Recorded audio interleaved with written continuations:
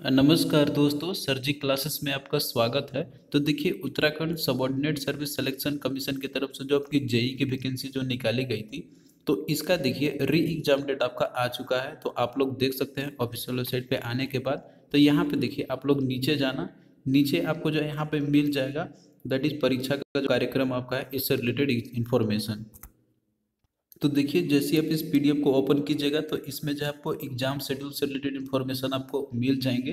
तो जिसमें कि देखिए, इसमें आपका जैसे वैकेंसी जो आपकी निकाली गई थी, प्रतियोगिता परीक्षा का जो आयोजन है जैसे पूर्व में इसके आयोजन जो किए गए थे इसका आपका यहाँ पे तो इसमें देखिए परीक्षाएँ जैसे आपका पहले ऑफलाइन आपका हुआ था तो इस बार भी जो है आपका जैसे पहले के भांति ऑफलाइन माध्यम से आपका किया जा रहा है। तो इसका देखिए जो कार्यक्रम है तो यहाँ पे दिया आपका यहाँ पे, पहले जैसे पहला जो कोड आपका यहाँ पे है दैट इज़ कनिष्ठ अभियंता, जो कि आपका विद्युत एवं यांत्रिक के लिए था, यानी कि जो आपका इलेक्ट्रिकल और साथ मैकेनिकल के लिए था। तो इनका जो कोड जो पोस्ट कोड आपका था दैट इज़ फिफ्टी टू आपका था। तो इसका जो पूर्ण परीक्षा, यानी कि जो री एग्जामिनेशन आपके हो रहे हैं तो ये जो है आपका 10 जनवरी 2021 को रविवार के दिन आपका होगा।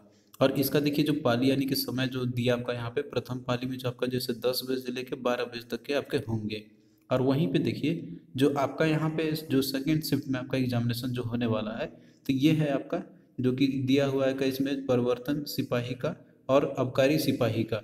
तो इनका भी जो है दस जनवरी 2021 को है, लेकिन ये जो है आपका सेकेंड शिफ्ट में आपके होंगे। तो फ़र्स्ट शिफ्ट में आपका यहाँ पे जो जूनियर इंजीनियर का जो वैकेंसी निकाली गई थी आपकी इलेक्ट्रिकल और जो आपका यहाँ पे मैकेनिकल का है तो ये दस जनवरी को है।